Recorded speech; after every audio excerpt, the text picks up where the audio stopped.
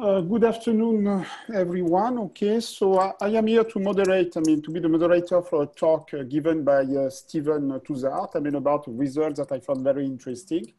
So before we really uh, go into the talk itself, I mean, I, I like to present a few bio facts about uh, Steven. Okay, Steven graduated from the École Normale Supérieure Cachan, uh, now called ENS Paris-Saclay, in France in, two, in 2013. In fact, it turns out that it's also my alma mater. Okay. After one year as an exchange student, he started a PhD in the group of Professor Michel Devoret at the Yale University in 2014. And he defended his PhD titled Stabilization of Bosonic Codes in Superconducting Circuits in June 19, 2029, uh, 19, sorry. His PhD work focused on developing new control, uh, new quantum um, control methods for superconducting qubits and uh, resulted in novel measurement and quantum error correction schemes Okay. So after his PhD, I mean, Steven joined the group of Travis Nicholson at CQT uh, last uh, summer in 2019, where he works now on quantum information with single neutral uh, strontium uh, atoms. Okay, so today uh, Steven will talk about his work at Yale about I mean, quantum error correction of a qubit encoded in the grid states of an oscillator. So before I leave him the, the floor, um, I would like uh, uh, maybe uh, that if you have questions, okay, maybe you can just uh, interrupt, okay, because I'm not sure that I will always have a look at the, the message box, uh, okay, so you just interrupt uh, Steven to, to ask a question. I think it will be more dynamic in this way, unless people have objections. Okay, Steven, is it fine with you? Yeah, perfect. Perfect. Okay, so I'm, I'm going to stop sharing the, my screen. Okay, you, you did. Okay, so now, I mean, please, I mean, uh, Steven, welcome and, and uh, floor is yours. Uh, thank you, Christian, Christian, for the introduction, and uh, thank you for the organizers at CQT for giving me the opportunity to talk about uh, this, uh, these results. So today I'm going to talk about quantum error correction, and more precisely about error correction uh, where the logical qubit is encoded in an oscillator. So this work has been done uh, with a team of uh, great people that are listed here. in particular, I worked uh, full-time on the experiment with uh, Philippe Campagne-Ibarcq, who is now uh, working in Paris, and with Alec Eickbusch, who is still a graduate student at Yale with Michel Devoret, finishing his, his PhD. So um, first I will motivate and uh, introduce this, uh, this talk. Um, the, main, um, the main motivation for this talk is uh, to find a way to go towards making uh, useful quantum computers. So the state of quantum computing is, is uh, sometimes described on the, this graph where the x-axis is the number of uh, physical qubits in the quantum computer. So roughly the size of the Hilbert space that, that can be accessed with the quantum computer. And on the y-axis, it's the number of gates between uh, these, uh, these qubits. Um, so the fidelity with which you can uh, move within this large Hilbert space before losing coherence. Uh, today, we, in the, the, bottom left corner, uh, in what is sometimes referred to as the noise intermediate scale quantum uh, era, the NISQ era, as coined by John Preskill, and the goal is to move in the top right corner where a quantum computer would be able to solve real problems, real problems with uh, real interest uh, with the speed up. So for example, factorization, uh, search algorithm, chemistry simulations, etc. And uh, for now, so between these two, these two regions, there, uh, there is a, a, blank, a white region where uh, there is the, some kind of limit called the quantum advantage where what we can uh, do with a quantum computer cannot be simulated with a classical machine, but uh, where it can also not solve any practical problem as far as we know. So those, uh, those areas are likely to move. And for now, the state of the art is roughly here, where the, the numbers are given as orders of magnitude and not uh, really uh, uh, exact, right? and it's been reached by Google, like uh, as you as you could see in their um, quantum supremacy uh, paper. So how do we reach this um, this uh, this red area? So um, what is currently limiting the quantum computing is the errors that that that um, uh, happen with, within the, the quantum computer. So if I represent roughly in the way that Google's quantum processor looks like. You have a certain number of qubits represented by those uh, black uh, dots. Uh, and usually the state of a qubit can be represented with a Bloch vector on a Bloch sphere, for example, here. and this quantum processor is um, controlled and measured using control lines that are the arms sticking out of, of the processor itself. And within this processor and from the, the control lines, there is some uh, environmental, environmental noise um, that is represented here in red that will change the state of, uh, of the physical qubit. And so this noise is, current, is what limits uh, our uh, ability to do uh, quantum computing. So uh, we cannot run those advanced algorithms so what, there are several things that we can do uh, to solve this problem. One, we can find algorithms with a lower requirement, and that's an active uh, area of research. Or we can also find a strategy to have better qubits. And this is this latter strategy that we'll, we'll uh, that we follow in this work. In particular, we do so by using quantum error correction. So what is uh, quantum error correction?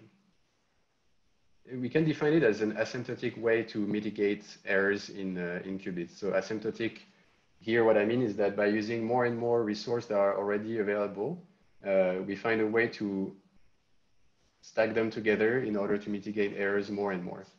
So, uh, and I will describe how we do this. So first, we, we uh, modeled our environment with a certain number of uh, possible uh, errors that will, that will cause uh, by interacting with physical qubits, and we make a list of the ones we want to, uh, to mitigate. So it will be given by some operators, E0, E1, etc.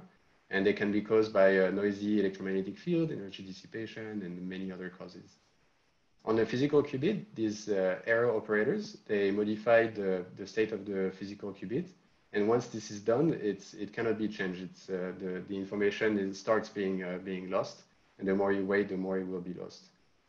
So our strategy for error correction is to embed a logical qubit, so a qubit that we now call logical, uh, into a larger Hilbert space.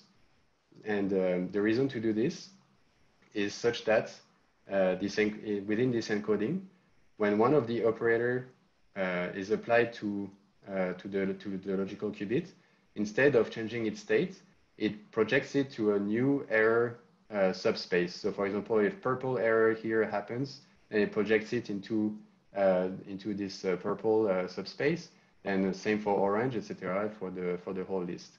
And it needs to do the to do the same kind of projection onto a new a new space uh, for both the logical 0 and logical 1. If it does so, the, this, this uh, projection happens without modifying the information that is encoded into the, the, into the logical qubit. So the Bloch, Bloch vector is preserved.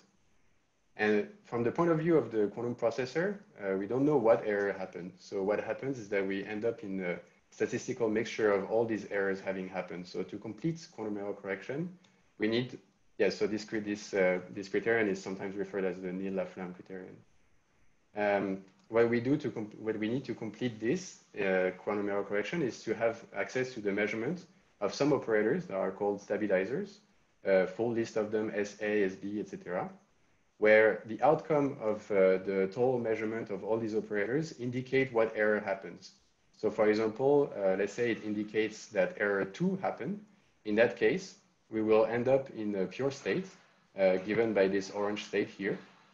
And all the other ones will uh, now be, uh, we know that they, they, they haven't happened, or depending on your interpretation of quantum mechanics. So they, they haven't happened, and uh, what we can do is we know where we are, we're in this orange subspace, and we can uh, either stay there if it's, uh, if it's fine, or we can apply a transformation to go back to our initial logical qubits. So uh, in terms of uh, uh, roadmap, uh, one possibility is to scale the number of qubits that we have right now to a large number of them. We group them into physical, we group the physical qubits together into a larger Hilbert space. And uh, we use them to do uh, quantum error correction and to transform them into better logical qubits. And that brings us into the, the red area. So this strategy that I will that I refer to as register of many two-level systems is the strategy behind some uh, famous codes, quantum error correction codes like the Shor code, the surface code, the color code, which are used in, in various fields. But the problem that arises with, with this, this register of many two-level system is uh, can you scale them correctly? So you need a huge number of them. And uh, so for each, each one, each time you add a two-level system, you need a control system. You need to control uh, them. So that's more electronics, etc. Uh, you need to, uh, for, for superconducting circuits, you might have a crowded chip, etc., etc. To give you an idea, it would need uh, many hundreds of, of thousands of them and in the recent IBM roadmap, they, they think that within two to three years, they, they might be able to reach a thousand. So we're still uh, quite far away from, uh, from having a fully uh, quantum error corrected quantum computer. And on top of that, something that is common to all quantum error correction codes is that you add new failure modes. So every time you add a new qubit, you add a new way for your quantum computer to fail. And uh, uh, one of the points that you have to uh, pass is you need to your quantum error correction to be better than one of your physical qubits. And, and after that, you need to make it even better than that until you can reach this uh, uh, uh, quantum error corrected quantum computer. This point where you're better than one of your physical qubits, we sometimes refer to it as break even. And this point for registers of two, two level systems has not been uh, obtained. And so far, as far as I know, the, the closest people have been is a demonstration of a small surface code in, uh, uh, published recently from uh, Andreas Wallraff's group at ETH Zurich. Our strategy is to use the Hilbert space of a single harmonic oscillator, which is a larger Hilbert space, um, in order to encode the logical qubit. So this, the, the strategy has uh, some, uh, uh, they are called bosonic codes, and they can be cat codes, binomial codes, and the one we're interested in today is called the GKP code. So uh, similarly to the register of many two-level system, you introduce new failure modes because you, add, you, you use more excitations of, uh, more and more excitations of a single harmonic oscillator. But uh, because you're using a single harmonic oscillator, it's easier to manage. And this uh, uh, break-even has been reached for cat codes and binomial codes uh, at Yale in 20, a few years ago and uh, from at Tsinghua by uh, Yale alumni, alumni using the binomial code.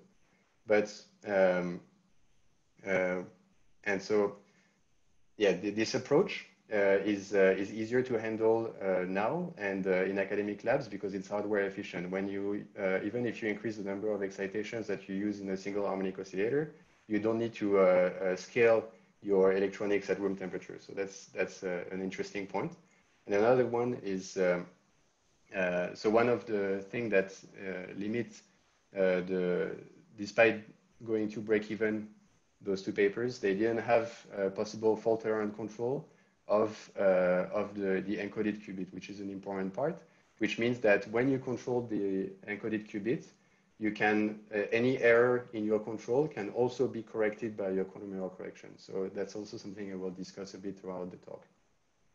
So our goal is to do quantum error correction with uh, the um, with an harmonic oscillator. And so uh, it means using continuous variables. So this large Hilbert space for us can be described in terms of uh, phase space of, um, of an harmonic oscillator, uh, where Q and P are two conjugate variables uh, that uh, correspond to operators that I give on the right, where I use the quantum optics convention. Uh, and uh, those two operators give you two different bases uh, in which you can describe your, your code. So I will now describe what is this, this GKP, GKP code that we used, which stands for Gottesman, Kitaev, and, and Preskill.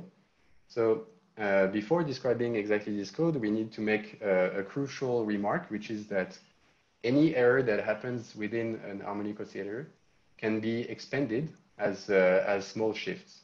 So I will not demonstrate that, but I will show you an, uh, uh, an interesting example that illustrates this problem, I mean, this, this, uh, this, this point. If you encode, uh, for example, if your harmonic oscillator is um, a mode of, uh, of a cavity, like uh, schematically represented on the right, and that this, this, this, um, this mode here can lose photons with a rate kappa.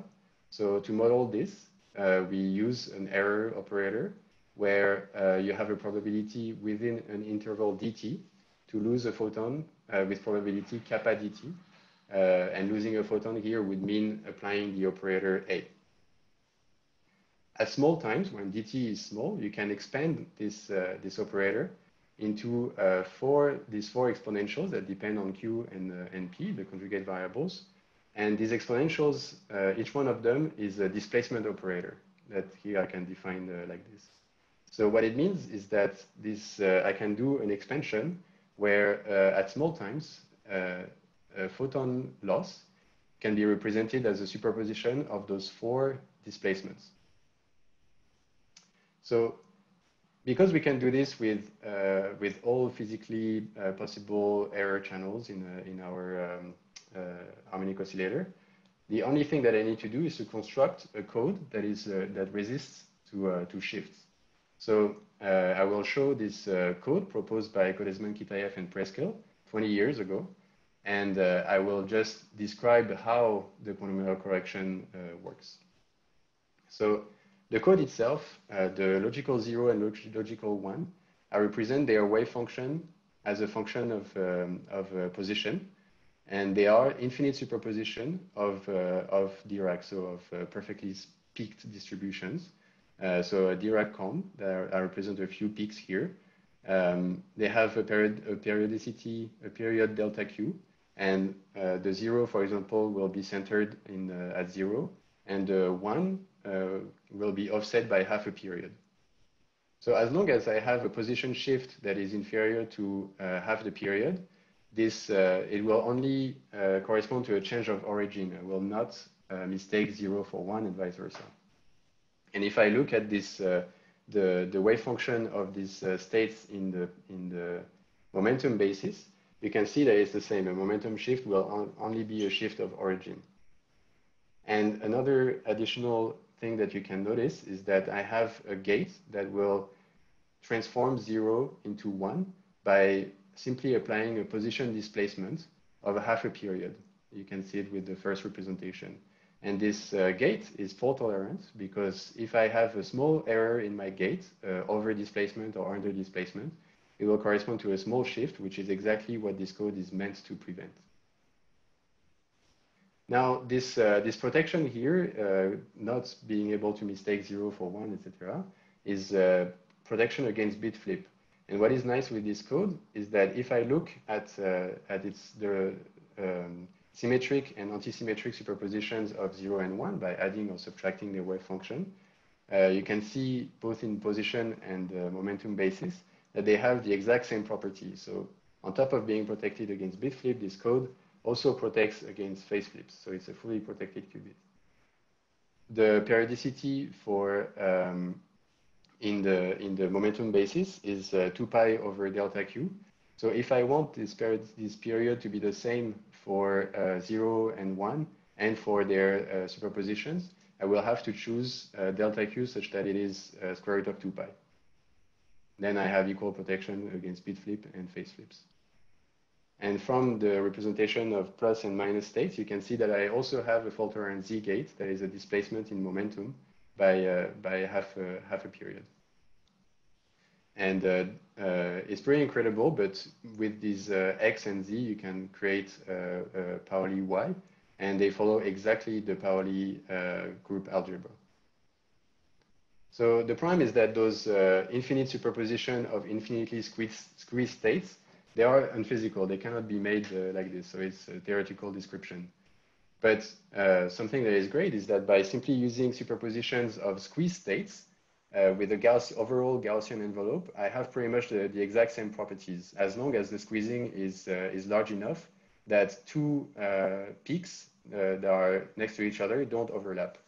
Uh, in that case, I, have, I don't have a significant overlap and, uh, and I have a well-defined qubit. So now I will describe, uh, we see that uh, these, uh, the, this code uh, is correspond to our description of the Knill-Laflamme criterion, but I also need to describe what are the stabilizers that we can use to, to correct errors.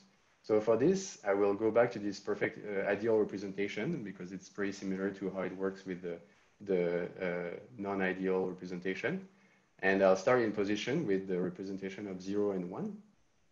And uh, uh, what I need is an operator that does not distinguish between zero and one when I measure it, otherwise it would destroy my uh, quantum information, but it reveals a shift unambiguously.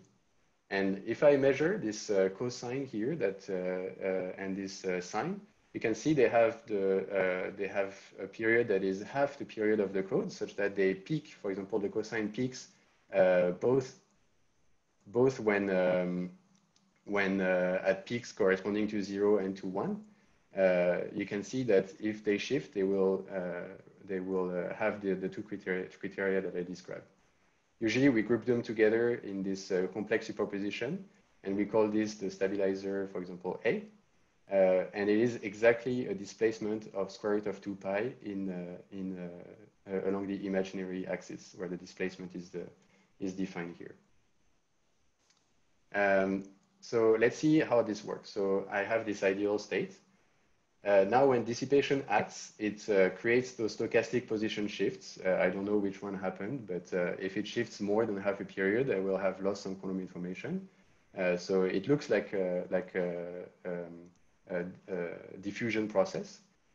Now I, I, uh, I will measure this cos and this, and this sine. And uh, the um, result of this measurement, because SA is a unitary, will give me a complex valued uh, eigen, eigen um, value uh, given with modu modulus 1, so this exponential i theta. And uh, it will project the, the state that I just measured into back to one of these uh, ideal states, but, uh, but shifted. And knowing the, the value of theta, I will know exactly what is this shift and I can correct it and recenter it uh, with, uh, with feedback. The same thing needs to be done in the momentum basis. So there is a second stabilizer, SB. So I will now give a summary of this, uh, the properties of the GKP code uh, and give maybe, uh, maybe more uh, mathematical description. So we have Pauli operators that are displacements that I described before, X, Y, y, and Z. And uh, the GKP states can be described as the common eigenstate of the, the stabilizers SA and SB. Uh, for each eigenvalue, they have two uh, eigen, eigenstates, eigenvectors. Those two uh, stabilizers commute, so you can measure one without disturbing the other. And each one of them commute with uh, the Pauli operators, such that when you measure them, you don't destroy the quantum information that is encoded in your logical qubits. The thing that might sound weird to um, most people at this point is that you, uh, how do you measure a displacement? A displacement is actually not even an observable, it's a unitary. So uh, I will answer this question. And uh, the answer is that you need to use conditional displacements. Uh, conditional displacements do everything for the GKP code, so we call them the Swiss Army knife of GKP codes in particular, you use conditional displacements of uh, the uh, mode that, that hosts your, the, the GKP code uh, with a two-level system. To describe this, uh, I will look, we will look at the uh, pulse sequence that we apply between an ancillary two-level system initialized in G, in green, and what I call the storage mode, which is uh, the harmonic oscillator that hosts our GKP I start by uh, initializing the two-level system uh, on, its on the equator of its Bloch sphere with a pi over 2 pulse. And then I have this displacement by um, complex parameter alpha tilde. Uh, and uh, this displacement is, is conditioned on the state of the ancillary two, two-level system. So if it's in G, it's displaced in one direction. If it's in E, it's displaced in the other direction. And here, because we are on the equator of the Bloch sphere, uh, in both directions at the same time. So you end up with an entangled state. And the, the converse of this conditional displacement is uh, a rotation of the Bloch, Bloch vector of the, the ancillary two-level system that is conditioned on the quadrature of the, the storage mode. And so after this conditional displacement, you end up having uh, the, the expectation value of sigma x and sigma y that are given that give the, the cos and the sine uh, parameterized by alpha tilde if you sum, if you do the complex sum of sigma x and sigma y, you have uh, exactly the expectation value of a displacement. And to measure uh, this uh, sigma x and sigma y, you will you finish your sequence with a pi over 2 pulse around the x or y axis, and you measure sigma z of your uh, ancillary qubits. This um, so alpha tilde is a complex parameter. So you, you get a 2D map if you uh, vary the, the value of alpha tilde. And this 2D map, given by the expectation of a displacement operator, is actually a known function. It's called the symmetric characteristic function. And it's, uh, it fully represents the state of, your, of uh, uh an harmonic oscillator. It's not very used experimentally, but it is the Fourier transform of a much widely used uh, Wigner function. It is a 2D and complex Fourier transform. A few points on this uh, characteristic function are of particular interest for GKP codes. So for example, the ones located at square root of 2 pi on the real and imaginary axes give you the expectation values of your stabilizers. And uh, the ones uh, at half of these values give you the expectation values of your pow uh, logical Pauli operators.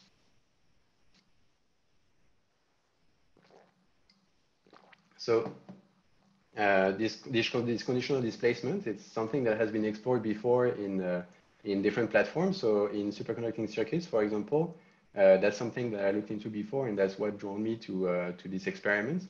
And it's something that has been done also in the group of Irfan Siddiqi, for example, at, uh, at uh, Berkeley. But not only in superconducting circuits, it's also something that can be done in other platforms, for example, in ions. Uh, you can check this work that includes GKP by Christa Flühmann at ETH Zurich um, in the group of Jonathan Home. And I believe it's also something that Mitri works on here at, at CQT. So on average, we have mapped the statistics of a displacement onto a two-level system.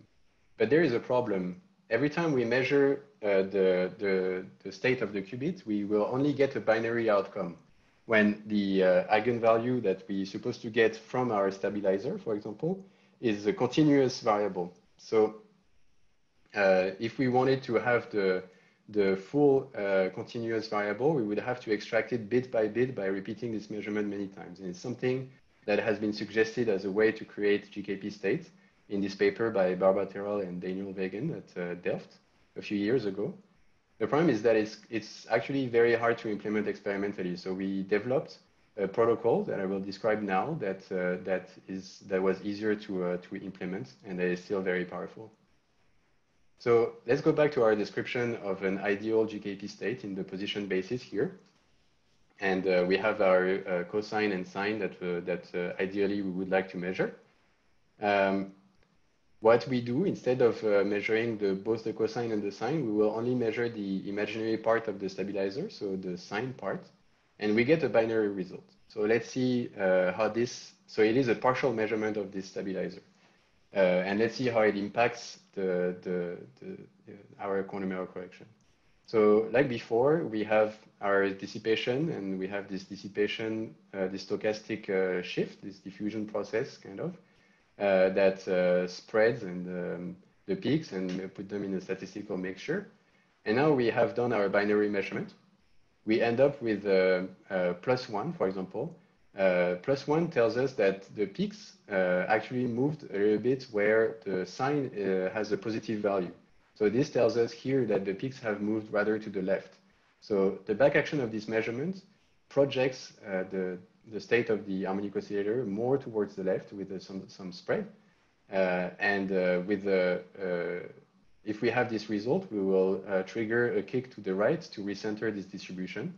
And if, if we, the result of the measurement is minus one, it means that the state has rather shifted where the sine is minus one, so to the right, and this will trigger a kick to the left. Overall, we will have peaks that are now sharper than just after the dissipation with still some, some uh, spread. And they will be centered around uh, attractor points that are at the zero of the sine with the, the, the correct slope. Uh, so to summarize this, uh, this stabilization protocol, uh, here we have our first step that I just described, which we call a sharpening of the Q peaks.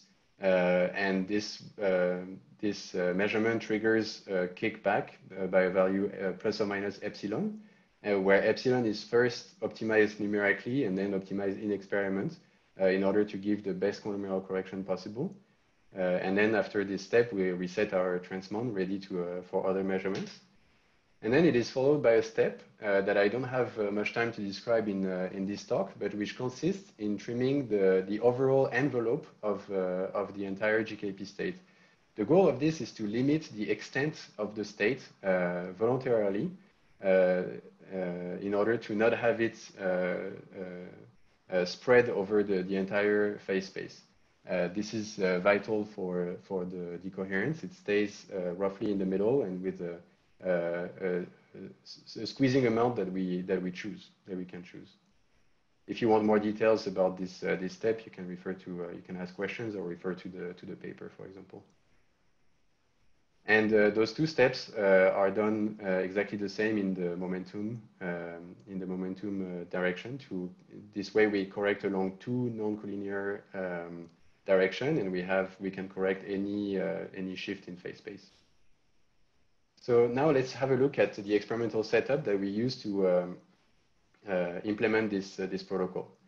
So our implementation is in 3D uh, circuit QED, so superconducting circuit, and 3D because we use these, these cavities, which are extruded blocks of aluminum with a post, like you have a top-down view on the left and a side cut on the, on the right, with a post in the middle that is roughly one cm uh, uh, tall.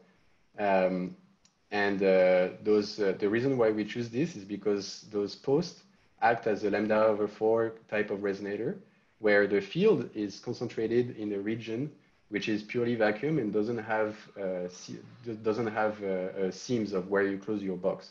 So this results in very high Q, uh, high internal quality factor cavities. Um, and uh, they are architecture of choice uh, at Yale, and you can learn more about them in this paper from Matt Reagor in Rob's group, Rob, Rob group. Um, in particular, in our implementation, we use a high quality factor one in red that is uh, undercoupled to a pin that we use to do uh, displacement and, uh, and such. Um, and that stores the, the GKP state.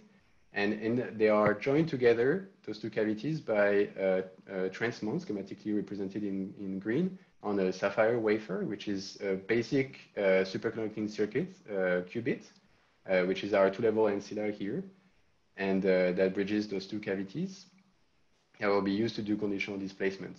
And the state of this transmon is read using an overcoupled cavity uh, that has a low quality factor because of this overcoupling to a pin uh, that we use to read the state of, of the, the transmon qubit.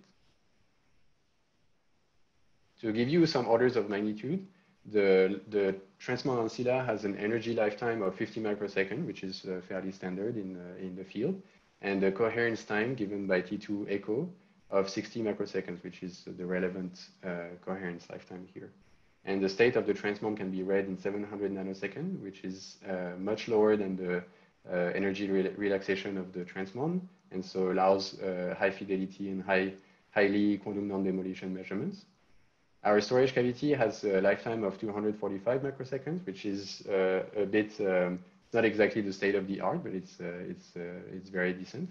And this, so it is the single photon lifetime, and this is kind of the our benchmark to evaluate how well our uh, quantum correction works. Uh, we usually compare the lifetime of the logical qubit to the single photon lifetime.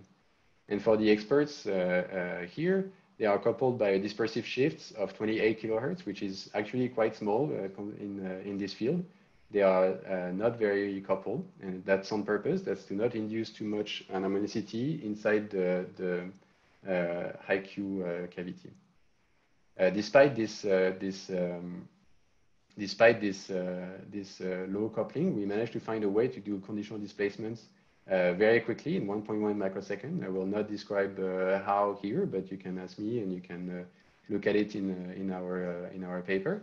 Uh, and uh, together with the fast readout, it allows to do the measure, the, this, this partial stabilizer measurement uh, much faster than the relaxation time of the transmon and much faster than the, the storage lifetime. And uh, to give you uh, an idea, any displacement and uh, ancilla gate times, they take of order 10 of nanoseconds. So it's really negligible compared to, to the rest. let's now look at, at our experimental results. So uh, ah, yes, so sorry, one more point that I wanted to uh, make about this, uh, this architecture is that this is the architecture that we use at Yale, but it is really just because that's what we, that's the, the usual architecture we work with, but it is not necessary to use this architecture. Anything that has a two-level system coupled to a uh, to um, an, uh, an, oscillator can be uh, can do the exact same thing. So, for example, it can be done. It's been done in in trapped ions, as I mentioned before. it can be done also in cold atoms and in many other um, platforms.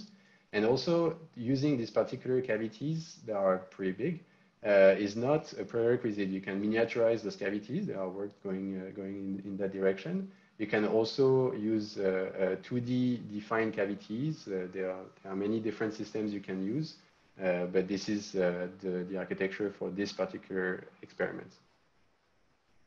So let's look at the results that we, that we obtained.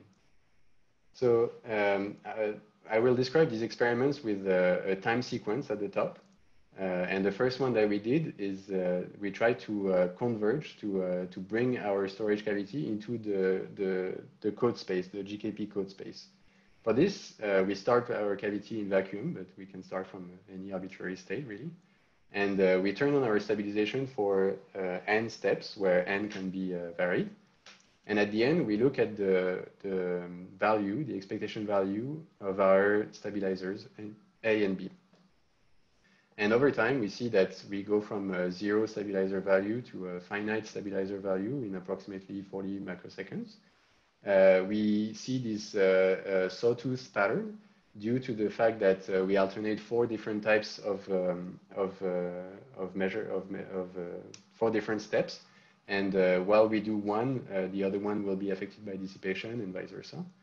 Um, if we were to uh, make an infinitely spread and, um, and perfectly squeezed GKP state, we would reach one. But as I said, it's not necessary to reach one to, to have error correction.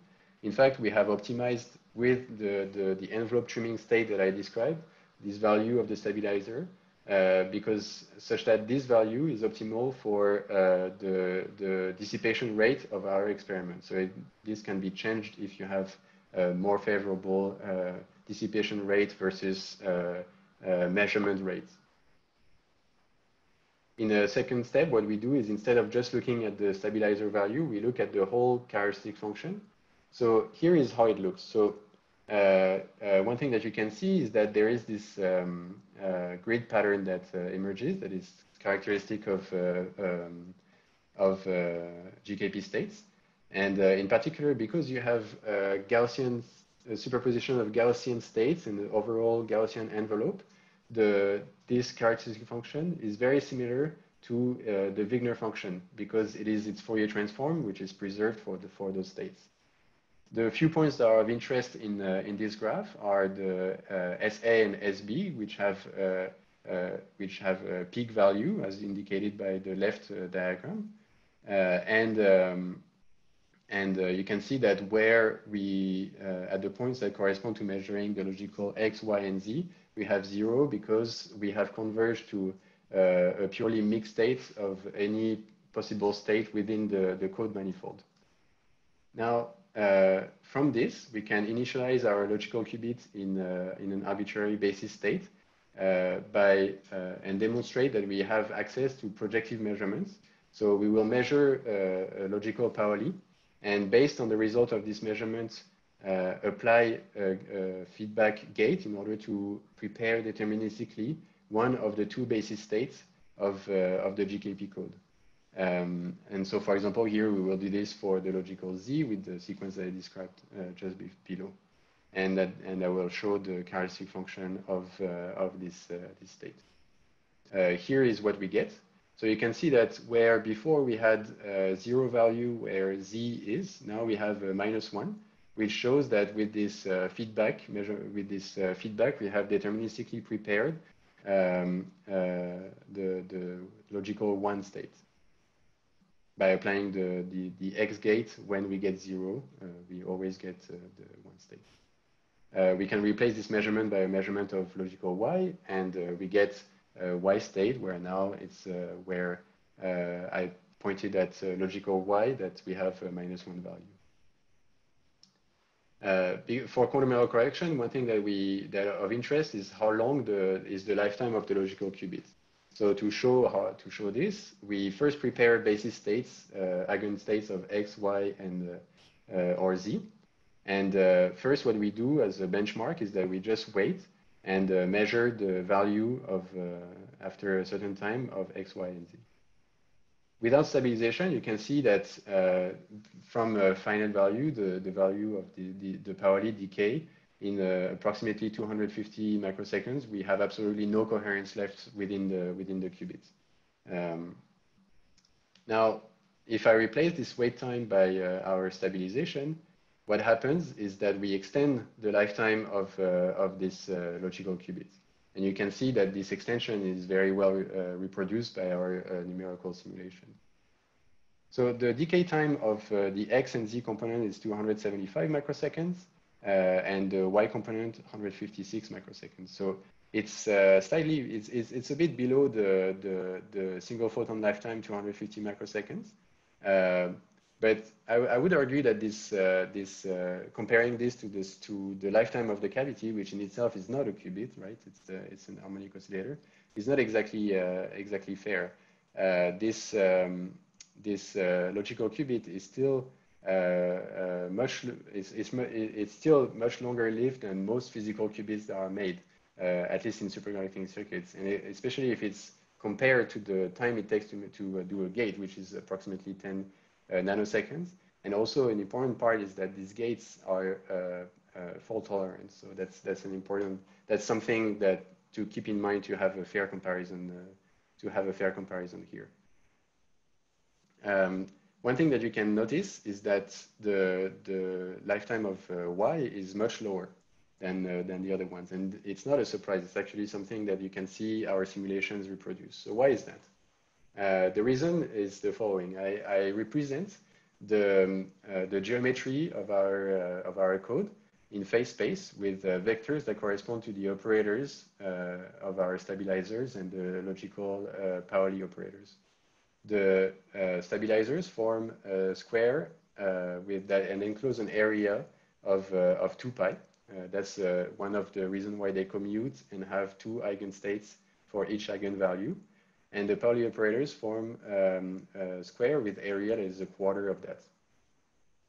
Now, if you look at the uh, displacement that corresponds to a, a, logical YL, you can see that it is in the diagonal of the square, and so it's square root of 2 lo uh, longer which means that an eigenstate of y has correlations over uh, over a longer uh, over a longer uh, distance, and that's why the y component decays faster. But uh, having this square grid is not exactly a requirement. What is important is to have two non-collinear stabilizers that enclose this area of 2 pi uh, and to define the, the Pauli accordingly. So I can actually deform uh, this, this geometry in order to now have um, uh, a 120 degree angle between uh, the two stabilizers and uh, still enclosing an area 2 pi. And uh, by defining the, the Pauli operators x, y, and z like this, I still have the same uh, Pauli group uh, algebra. But now x, y, and z correspond to displacements of the same length. And the only price to pay for this is that the length of the displacements are now 7% um, longer than, uh, than they were in the case of the square grid. And you can do this with, uh, with any, uh, any angle. And for completeness, here I give the, the expression for uh, the logical x, y, and z. The, uh, we can re reproduce the exact same type of experiments that we did with the square code, with the, our uh, now hexagonal code due to this 120 degree uh, angle. If, when we uh, do this convergence to the manifold and end, end up with a, a mixed state, we have the characteristic function that looks like this, where we have this exact, you can see this hexagonal pattern that emerges um, so just um, a detail is that we, in our stabilization sequence, we now uh, use three stabilizers that also commute with one another and with the different Paulis. As more for coding convenience and for uh, the, the symmetry, it was, it was easier to do. Um, and you can see that where the logical x, y, and z uh, uh are, we have a zero value, which shows that we're in a mixed state.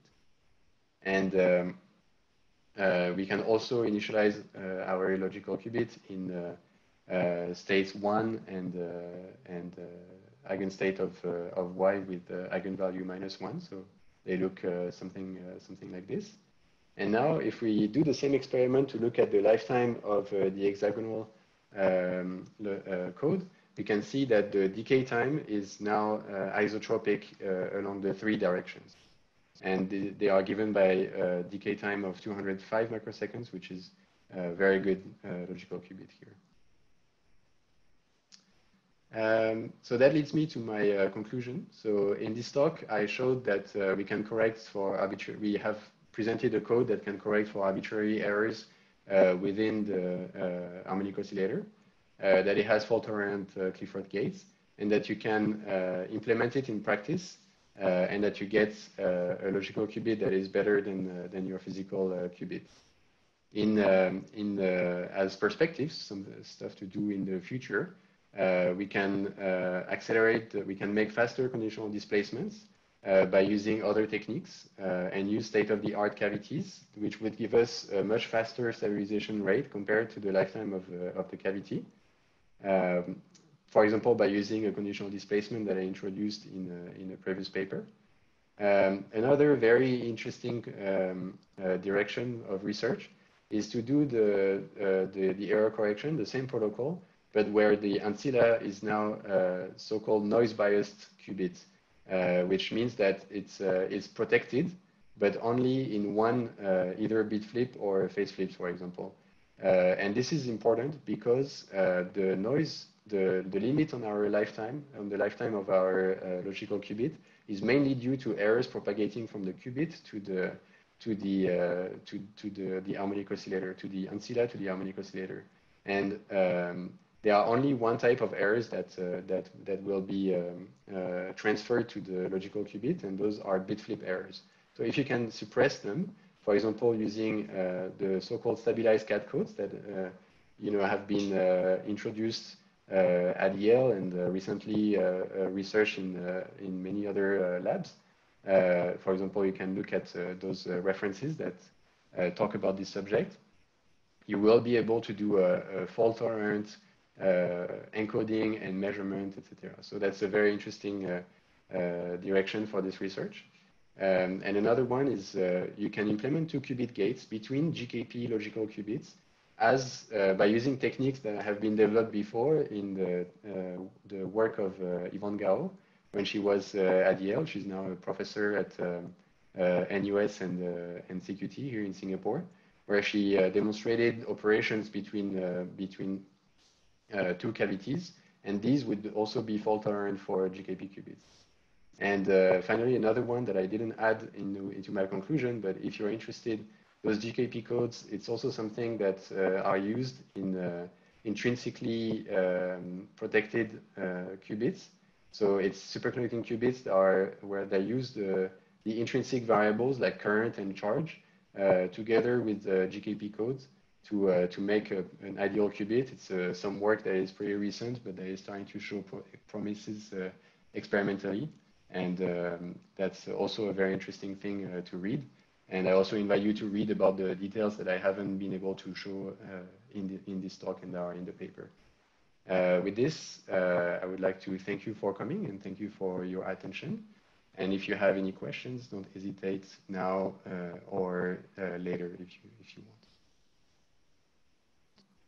Okay, uh, thank, thank you, uh, Steven, for this interesting talk. Okay, so now we, we open the session to, to questions. So please, I mean, just uh, intervene, okay? No questions? No. Everyone is shy? Well, let me first, starting with uh, one or two questions myself. I'm not an expert, I mean, in this field, okay? I, I just, uh, uh so uh, what is, I mean, uh, how much do you increase, I mean, the, so say the lifetime? You gain a factor of what, two, three? Uh, no, I, I think it's much more than that. So the, one of, sorry, one of the prime is that the, one of the prime is that the, um, the curve is not exactly exponential. It's, it's, yeah, it's not it's not exactly exponential, so it's hard to uh, to um, to give um, a good uh, estimate of the of this. But if you have a complete decoherence in 250 microsecond, mm -hmm. um, you just you can divide this by uh, by five, right? mm-hmm. and that gives you like you know five like in five kappa type of decay, and that gives you roughly um, a decay time of of 50 microseconds, so close to your physical qubit here, our physical mm-hmm. ancilla. So you can say it's multiplied by four or five. Okay, multiplied by four, five. Oh, okay. And uh, um, so this is limited anyway by the by the lifetime in the cavity, right? Uh, so it's it's both. So it's both. Uh, there are two limitations that you need to balance. Uh, one of them will be given by the lifetime over over how fast you can measure. Uh, so if you can measure faster uh, compared to the lifetime, that's good. The problem is that if you measure too much, uh, the, uh, at each measurement, measurement um, at each uh, measurement step, the transmon is gets entangled with with your cavity. Mm-hmm. your qubit gets entangled with your your ancilla gets entangled with your cavity, and this can cause logical errors. So you want to balance the errors coming from uh, from this uh, this ancillary to level, ancillary level system um, with uh, the, the fact that the, the cavity has a finite lifetime. So you can optimize this uh, in, uh, inside your experiment. Uh, so you can play on the, two fronts. You can either uh, have a qubit that uh, induces less errors or physical qubit, or you can have your cavity to live longer. So the state of the art right now in our field is like lifetime, like the four uh, four to uh, 10 times longer than, uh, than what we, we've made. Um, so that can be also mm-hmm. one possibility. But the, the most promising way is to find um, an ancillary that doesn't, because uh, at some point, you, you, in all these cases, you reach a top, uh, you, you, reach a limit. So the, the, the most promising uh, way to, to, to go is to find a way to do a fault tolerant measurement of your um, uh, of your error syndromes. So to do this, you need uh, you need your uh, ancillary qubits to also be somewhat corrected. That's that's. okay. Yeah. I see. Okay. Okay.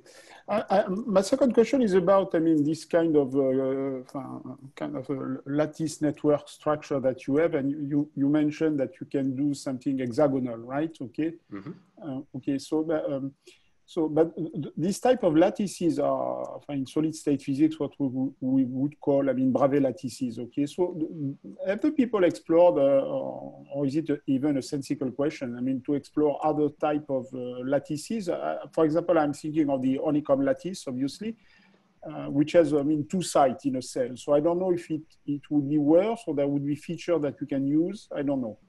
Uh, so I so I'm, I'm not sure how different it is from our, uh, uh, for the honeycomb, for example, how different it is from our uh, hexagonal.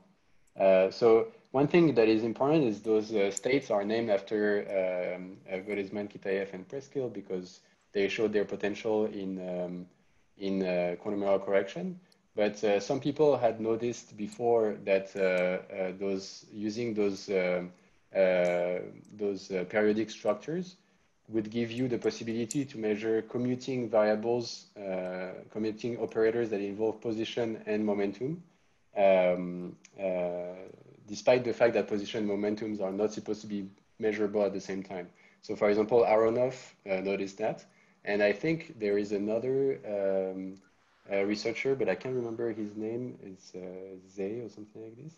Uh, the, who noticed that in, uh, in solid states a long time ago, those commutation relations. And uh, so uh, uh, there was an article recently in Nature Physics that was calling those states after the, those research in solid states. So it's definitely I, am not sure if it's inspired from the point of view of, uh, of Gottesman, Kitaev, and Preskill, but it's definitely something that is uh, connected to, uh, to, to solid state. Okay. okay, thank you. So any other questions, please? Be shy. I'm sure there is a lot of questions, in fact.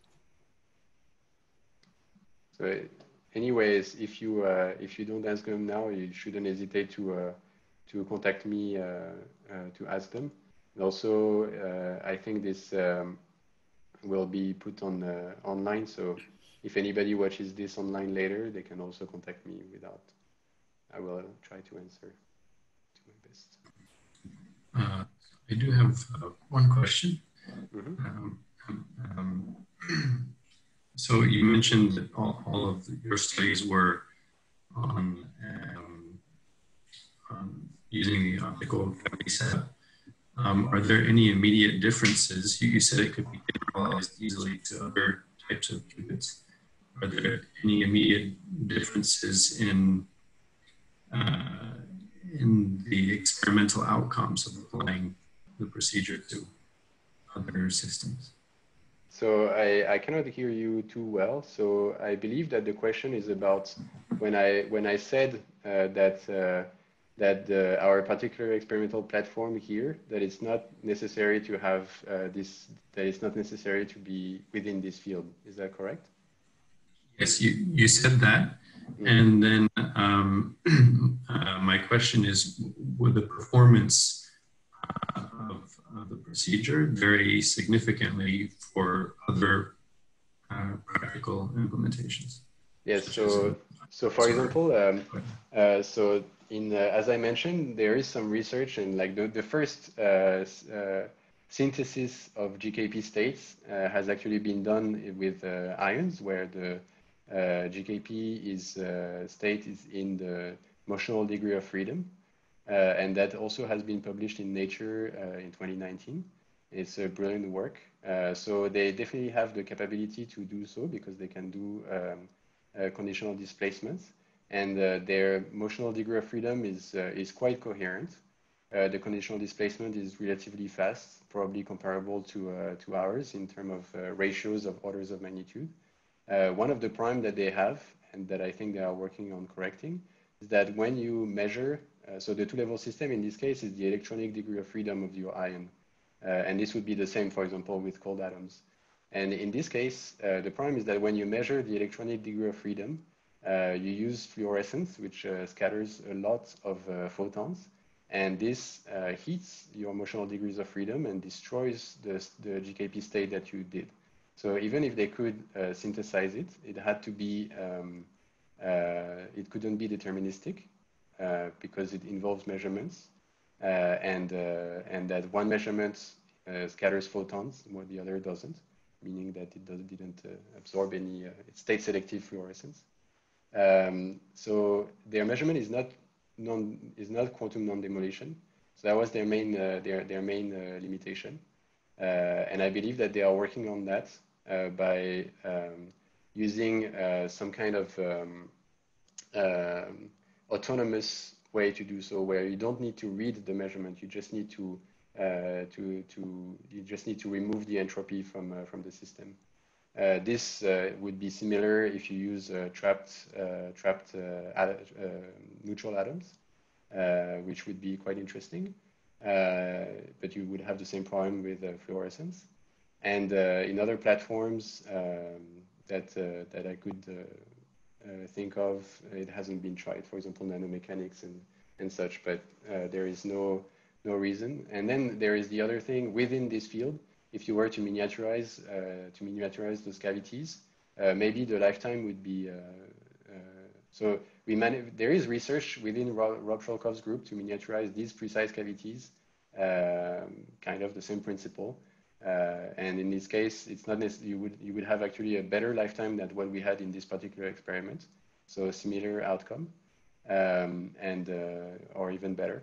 And uh, I think, uh, you know, by making all the timescales uh, faster, uh, including your, um, the control electronics, you could have, for example, a worse cavity that would still multiply its lifetime by, by many times and still with fast control, etc.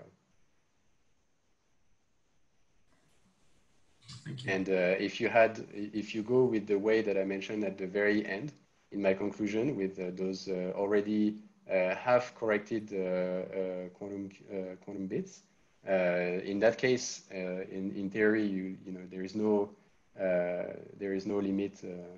I mean that's that's the principle of this fault tolerance is that it's asymptotic as as much as you correct your uh, noise biased ancilla, you will have better results in your measurement, and so you will you can get uh, as good as possible uh, logical qubits. Okay, thanks. Any other questions?